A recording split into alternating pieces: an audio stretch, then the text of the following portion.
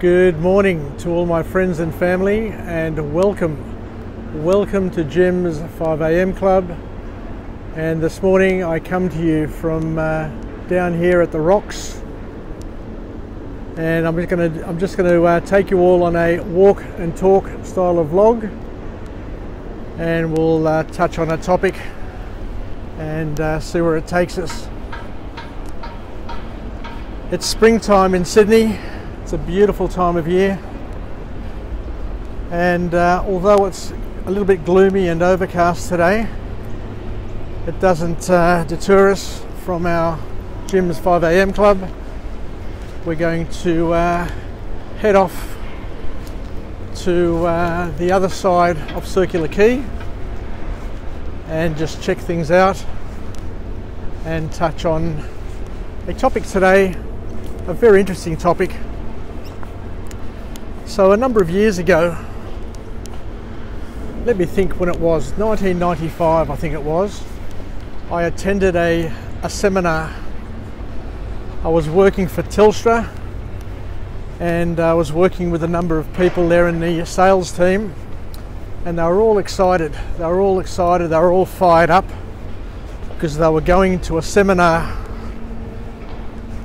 And I asked them, you know, what sort of seminar is it? And they said, oh, I know, it's uh, an Anthony Robbins seminar. He's coming out to Australia and we've all got tickets and it's an absolutely it's an absolute buzz and something you shouldn't miss. So I asked a few more questions and it all sounded pretty interesting. So I sorted myself out and bought a ticket. And even back then, it was an expensive sort of uh, exercise. I think I paid 650 or 700 dollars back in the mid 90s, which in today's money would be, you know, a few thousand dollars. But the uh, seminar was called uh, Unleash the Power Within Weekend, and uh, it was based on his book Awaken the Giant Within and one of the highlights, of course, of the weekend was you actually got to do a fire walk where you walked on fire, which is the sort of stuff which captured my interest as a young uh, young male.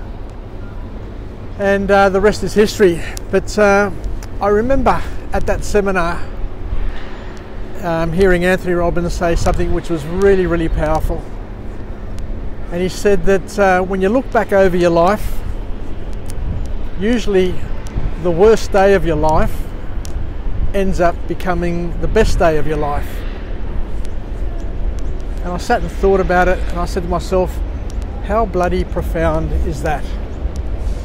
So let's say it again. When you look back over your life, you figure out that the worst day of your life actually ends up being the best day of your life because it officially becomes and formally becomes the beginning of your new life because from that point on you say enough is enough and you say well from, from this point on I decide to do X or Y and I will no longer put up with whatever's been upsetting us or uh, disappointing us in our lifetimes.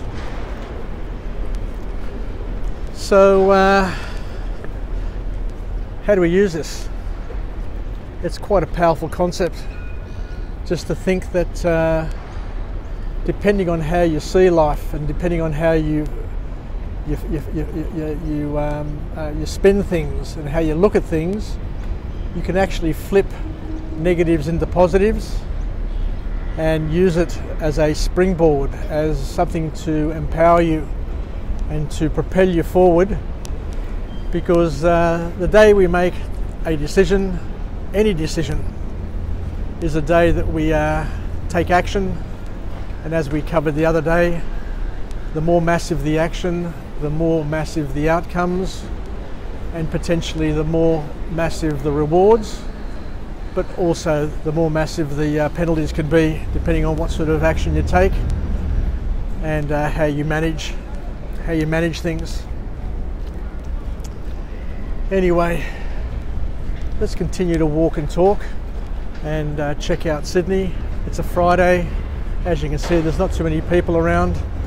Normally, this time of year, the place is crowded, but uh, with COVID 19, the city is uh, like a ghost town. I feel for all the people who've got businesses in town because it's going to be tough for them. But uh, we'll get through this. But uh, let's go back on our topic there. Um, so, and as, as, Anthony Robbins said, that the, the key, the key is to make decisions, to decide. And he also mentioned that the word decision actually means to cut away from, to cut away from something you've done in the past, and to look to a new future. So for young people, how do we use this? We keep on harking on this that uh, we basically need to get fed up with uh, how things are. One of the worst traps to fall into is the uh, trap of um, of not caring or not giving a, a, a rat's ass, for example, about a situation that you're in, and you just keep on putting up for it with it hoping that it's going to get better, hoping that it's going to improve, and hoping that your life is going to uh, to change. But the reality is, is unless you make a massive change, unless you decide here and now to action that change, your life isn't going to change all that much, and you're going to continue along that merry path of disappointment, of pain, of suffering. And uh, I think Anthony Robbins said the, uh, the, the, the definition, the definition of insanity is to continue doing the same thing and to expect different results. Which I absolutely cracked up laughing when I heard that, heard that because it's just so true. Now you can't go through life hoping that things get better, even by praying you still need to take action because, as we've learnt time and time again, God helps those who help themselves. So, uh, the key message, the key message from that Anthony Robbins seminar that I went to back in 95 was that we need to take bold action. Bold action. We need to decide and act and do it immediately with passion with confidence, and most importantly, it needs to be bold. You can't be timid. You can't be timid in change because change requires you to get over a hurdle, over a hump, and to break free of the gravitational forces which hold you in that negative state, in that bad pattern of behavior. So, uh, once again, we can't just wish ourselves better or wish ourselves to greatness. We've got to get out there, we've got to get on our horse, we're going to grab the sword and we're going to sever, sever the knots, sever the ties with whatever it is that is holding us back and weighing us down. Anyway, I think that's that's the gist of it. So how do young people use this?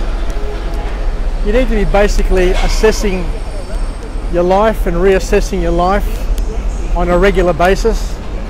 Don't just drift because by drifting you'll think that uh, things are changing but in actual fact they're staying the same.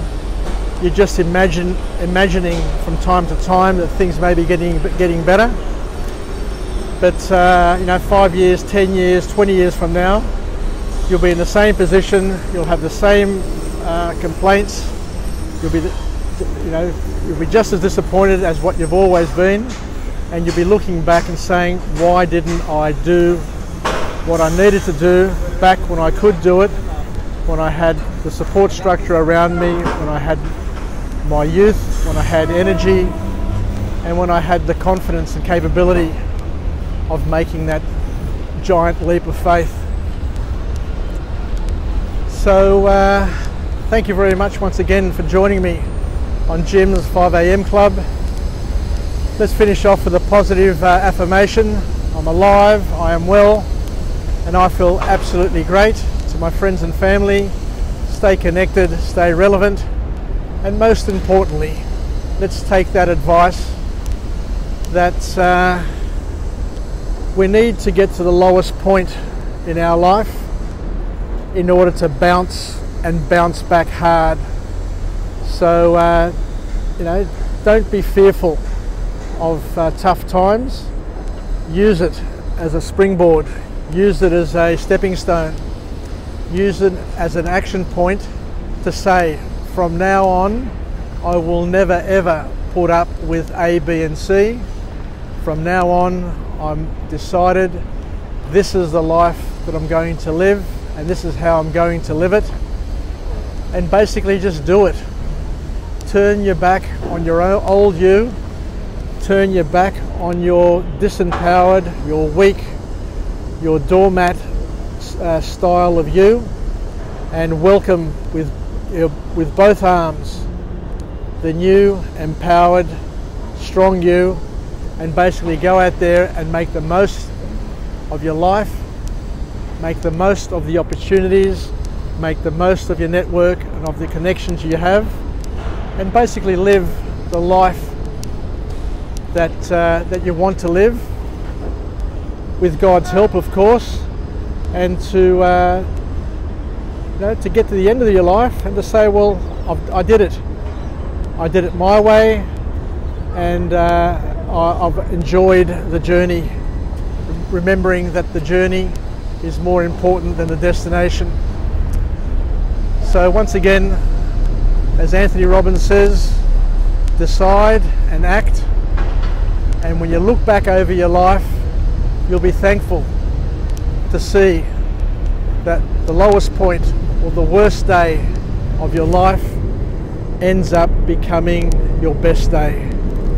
Take care to everybody and uh, wishing you well and we'll chat again on Jim's 5am Club, signing off from a gloomy but a beautiful Friday here in Sydney. Yasas, ciao, and bye for now.